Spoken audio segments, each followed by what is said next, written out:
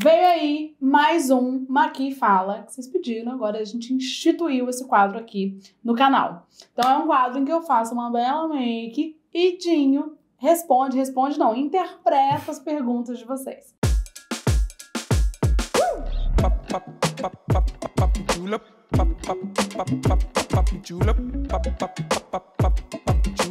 Então vamos lá, fazer hoje uma pele bem levinha, começar uma preparaçãozinha aqui com o Biosense e vocês vão acompanhando o babado. Vamos lá, Dinho, primeira pergunta. Ó, primeira pergunta. Como acabar com essa necessidade de precisar ter um homem ao lado? Arrumando uma coisa melhor pra fazer. Como acabar com a necessidade de ter um homem ao lado? Primeiro precisa entender por quê, da onde vem. Aqui, maratona aqui o canal, que você vai, que você vai entender o que, que eu falo, de onde vem isso, por que, que as mulheres são ensinadas a precisar de um relacionamento para poder viver. Tem vários vídeos sobre isso. Você está chegando aqui no canal agora, lá no meu Instagram, arroba Manuela Xavier. Eu também falo sobre isso. Então segue lá para você acompanhar. Eu tenho um curso de psicanálise e feminismo em que eu também falo sobre isso. Por que, que a gente. Eu vou deixar aqui na descrição se você quiser se inscrever. Em que eu também falo sobre isso. Sobre por que, que a gente tem essa dependência, que alguém ame a gente, essa dependência de que alguém nos escolha. Então, toda essa explicação tem nesses espaços todos. Como se livrar dessa necessidade? Quando eu falo que precisa arrumar uma coisa melhor para fazer, é porque realmente, né, assim, a gente já tem outras coisas muito melhores para você fazer. Assim, você pode pensar no seu. Eu tô, eu tô de, de TPM, gente, aí parece um monte de espinho. Então, fazer uma pelezinha leve, a gente dá uma tapadinha aqui ao leve nas marquinhas, depois joga uma basezinha bem leve. Então, existem muitas coisas que você pode investir seu tempo e sua energia, e inclusive, eu já falo nesses espaços também, a, o empuxo a um relacionamento para as mulheres, ele vem desse lugar. Ele vem de um lugar que é para que essas mulheres estejam distraídas e desinvestidas da vida delas. Então, assim, é muito interessante para o sistema que quer que a gente fique caladinha, que quer que a gente fique alienadinha. É muito interessante para esse sistema que a gente esteja ocupando o nosso tempo em procurar um homem, em arrumar um homem, em arrumar um namorado. E todas as narrativas que dizem que a gente é fracassada se a gente não tem alguém, que dizem que a gente vai morrer sozinha, que dizem que a gente deve ser muito exigente ou difícil de lidar. Então, tudo isso empurra a gente para esse lugar. E se a gente entende, quando a gente entende que isso faz parte, que esse movimento faz parte de uma estratégia. Então, quando a gente entende que esse movimento ele faz parte de uma estratégia para manter a gente distraída, o que a gente precisa fazer é não se distrair. O que a gente precisa fazer é investir nos nossos projetos, nos nossos sonhos, nos nossos planos, nas nossas redes de afeto, na nossa emancipação. Então, assim, arruma aí, minha filha, arruma aí uma coisa que você quer fazer. O que você quer fazer da sua vida? O que você quer que dê certo na sua vida? Quais são os seus laços de amizade? Nos seus laços de amizade, você fala de coisas, de planos, de sonhos, de vida, ou você fala só de homem? Então, como se livrar do, da, da sanha por um homem? Rumando a coisa melhor para fazer. Próximo. Por que pensamos em ex tóxico e chegamos a confundir com saudade? Ah, minha filha, é uma questão chamada masoquismo. Por quê? Não é que você sente saudade. Não tem como, gente, você sentir saudade do ex que não presta. Não tem como, porque se o homem não presta, ele não presta. O que acontece são duas coisas. Antes dele não prestar, ele prestou. Porque ninguém é só podre, né, gente? Ninguém é podre. Se o homem chegar com podre, escrito na cara dele aqui, sou podre, ninguém vai cair no golpe do cara, né? A gente cai no golpe do cara porque antes dele ser podre, ele é legal. Então você sente saudade daquilo que tinha de legal nele e não do podre.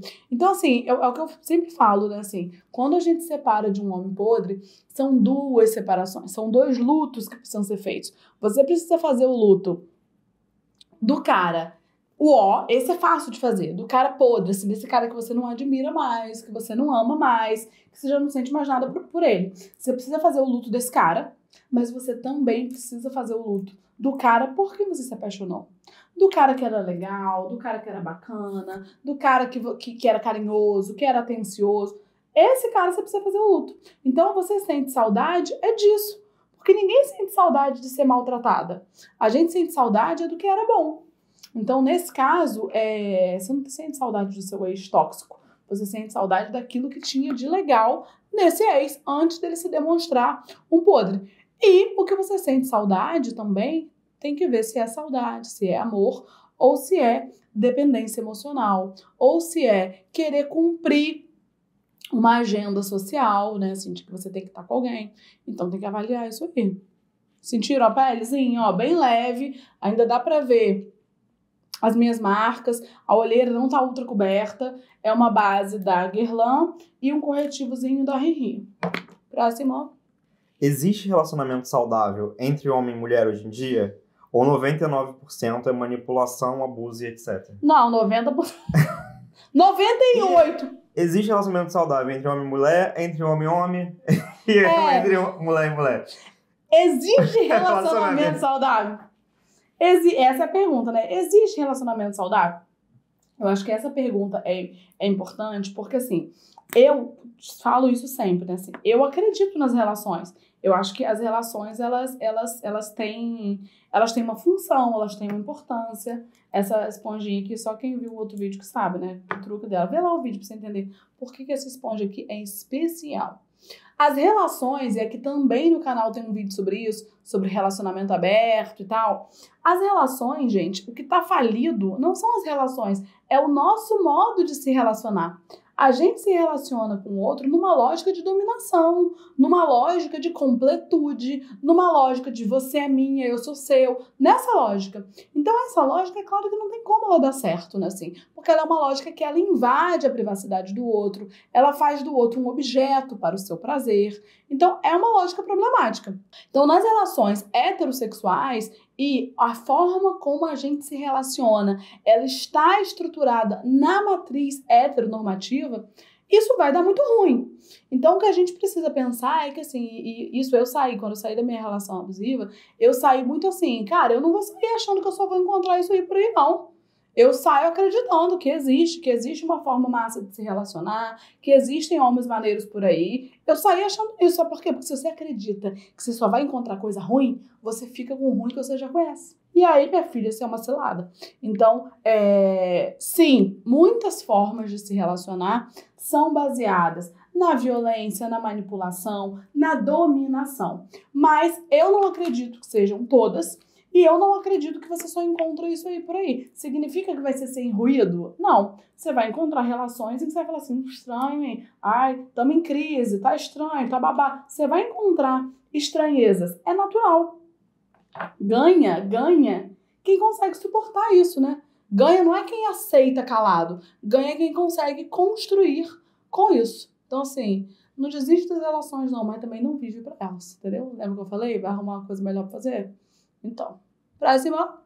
Ó, pergunta sobre maquiagem. Qual item não pode faltar na sua make? Ah, unha postiça. Gente, não sei. Eu não sei responder perguntas que é uma só. Entendeu? Eu não sei se responder perguntas que é uma só. É... Não sei, sabe o que que eu acho que eu diria? Eu diria que é o lip tint, que eu penso assim, se eu tiver que escolher um só, tem que ser um que é mais versátil. Então, versátil, igual do versátil. Eu escolheria, eu acho, o, o lip tint da, da Bruna Tavares. Que é O aquele lip que tint você não. usa de batom, de blush e É. de sombra. O BT, BT Plush. Porque, cara, ele é muito versátil. Tipo assim, você usa ele de batom, de blush, de sombra. Então, eu acho que eu escolheria ele, assim, como uma coisa infaltável. Acho que é isso. E vocês? O que, que vocês escolheriam?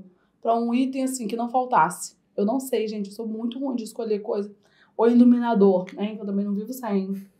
Não sei. Eu acho Era que eu diria da Bruna. É.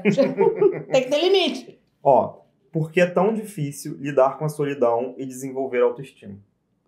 Por quê? Gente, solidão é horrível. Claro, solidão é muito ruim. Ninguém quer viver na solidão. A gente precisa estar em paz sozinho. Estar em paz sozinho não significa solidão. São coisas diferentes. Então, autoestima. Por que, que a sua autoestima está, está ligada pela forma como você escreveu? Ó, esse aqui eu vou dar um truque com esse aqui também, tá, gente? Porque esse aqui, vou contar pra vocês as tragédias da minha vida. Esse produto aqui é da NARS. Eu ganhei esse aqui. Aí eu tava muito bom, um blushzinho, ele tem um brilhozinho, tem um glow. Aí eu tava usando ele assim, ó. Aí eu vi uma, aí eu passava assim. Aí eu vi uma blogueira mostrando ele de uma outra forma. Eu falei assim, gente, estranho. Eu descobri que era uma tampa, filha. Não era de, de reganhar, era de puxar. Complicado. Aí o que acontece a solidão? Pela sua pergunta, você está ligando autoestima a estar com alguém. Aí, minha filha, se você ligar autoestima a estar com alguém, você vai ficar ruim pra você. Não vai dar certo. Você precisa entender que é possível estar em paz sozinha. E isso é o que vai construir a sua noção de autoestima. A sua noção de autoestima, porque a gente, a gente vai sair um vídeo também, eu não sei quando que esse vídeo vai ao ar, mas vai um vídeo também no canal sobre autoestima. A autoestima ela não tem a ver com o que os outros acham de você ou com como está o seu corpo ou a sua imagem. A autoestima ela tem a ver com o quanto você, como você se vê e o quanto valor você dá para você e em que lugar você se coloca. Então assim, isso independe de com quem você está. Então, quando você olha para você e você olha para sua vida, como que você pensa sobre a sua capacidade de se, de, de, de, se, de se realizar as suas coisas? O que, que você pensa sobre a sua capacidade de fazer coisas por conta própria? Ou você acha que você precisa sempre de alguém para te indicar o caminho? Então, gente, re revejam a noção de autoestima. Ai, tá, tá duro. O que quer abrir pra mim? Abre pra mim. Pra isso que a gente precisa de um homem, pra abrir o pote, entendeu? É, então revejam, gente, assim, a forma como vocês é, entendem a noção de autoestima. Porque a gente precisa repensar que a autoestima está ligada a uma coisa muito maior. Próxima! Olhando um homem abrir, abrir um pote da Rihanna. É Rihanna, filha, mendão. Até os homens tiveram dificuldade. Rihanna já ficou assim alta. Fala, amigo, uma pergunta. Se pudesse escolher um sinal de boy tóxico, qual seria? Um não tão óbvio. Essa pergunta é maravilhosa. Marav Por quê? Olha o problema dessa pergunta. A gente acha que o sinal do cara tá no cara. Não está. Gente, haverão tantas violências quanto haverão pessoas no mundo. Então, se a gente tem mil pessoas no mundo, vai ter mil tipos de violência diferentes. Portanto, ao invés de você caçar um sinal que seja do outro, do assim, esse homem, um homem que grita, violência, tóxico, um homem que xinga, tóxico, um homem que mente, tóxico. Ao invés de você caçar isso, qual que é o maior sinal? Como você se sente? Você, minha amiga, ouve o que eu tô falando pra você. Você é a sua própria bússola. Você é a sua própria régua. A gente sente. A gente que tem prótese, a gente sente, né, Nicole? A gente sente quando o cara tá estranho. A gente sente quando assim, hum, isso aqui não tá fazendo bem, não. Não bateu mal isso aqui desse cara. A gente sente, a gente percebe. Então a gente precisa dar mais ouvido para isso. Assim, a gente teve a leitura do, do, do, livro Mulheres Correm com os Lobos, em que a gente fala muito sobre isso, sobre intuição. Vou deixar aqui também o link na descrição. Uma leitura muito incrível, muito maravilhosa, em que propõe isso, né? Assim, a, a, a autora, e ali eu falando a parte da psicanálise, do feminismo também, propõe esse encontro com a gente mesma e com a nossa intuição. Então, para você achar um sinal de que o cara é tóxico, se, se, se consulte. Isso tá te fazendo bem? Isso que ele te falou Fez você sentir angústia? Fez você sentir ansiedade? Fez você se sentir culpada? Se sim, minha amiga, é tóxico e sai fora. Então você não precisa necessariamente conhecer o que é aquilo que ele está fazendo. Isso é gaslight. Isso é violência patrimonial. Você não precisa conhecer aquilo. É importante que você saiba os nomes, mas se consulte. Você vai identificar. Próximo. Ó, vamos lá. Existe ciúme do bem? Ou é sempre cilada? Ah, sempre cilada, gente. Ciúme do bem. Existe roubo do bem? Por que isso? O ciúme, ele é uma prática naturalizada, né, na nossa sociedade, porque a gente acha bonitinho, a gente acha que ciúme é, é o, o, tanto de ciúme, ele indica o quanto que a pessoa gosta da gente. E isso é uma mentira. Porque assim, é, o ciúme ele tem a ver com insegurança, ciúme tem a ver com dominação, ciúme tem a ver com eu, exclusividade, com eu quero você só pra mim. Então a gente não pode achar isso bonitinho, a gente não pode achar isso legal. Então não existe ciúme do bem. O que existe é insegurança. E a pessoa. Essa sobrancelha de, de sabulete é top, né, gente? Esse aqui é um coisa da Visela. Visela? Visela, que Joana me deu Eu sempre testo umas coisas pra sobrancelha, assim, pra ver qual que, que funciona.